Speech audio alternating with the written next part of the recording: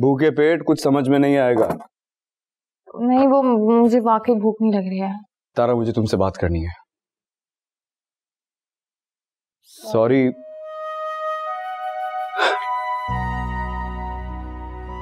यार तारा हम एक दूसरे के लिए कितना कम टाइम मिलता है? अब हम कब बैठते हैं एक दूसरे के साथ?